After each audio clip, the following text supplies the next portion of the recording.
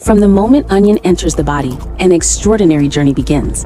As it touches the lips, the body prepares itself for nourishment. In the stomach, onion breaks down into powerful bioactive compounds that begin their work instantly. These nutrients move into the intestines or microscopic absorption channels pull them into the bloodstream, lighting up the body's internal pathways with natural energy. As they circulate, these compounds support brain function, strengthening neural connections and enhancing focus. Muscles receive a steady stream of nourishment, fueling recovery and endurance.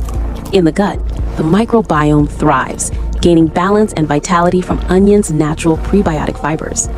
And throughout the body, a gentle, steady boost of energy spreads from the core outward. But onion can also bring challenges. For some, it may irritate the stomach, triggering inflammation or discomfort.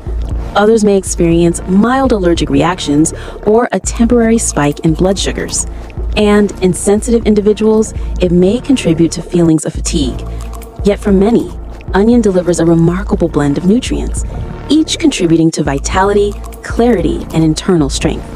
This is the anatomy of onion, a powerful, complex journey within the human body.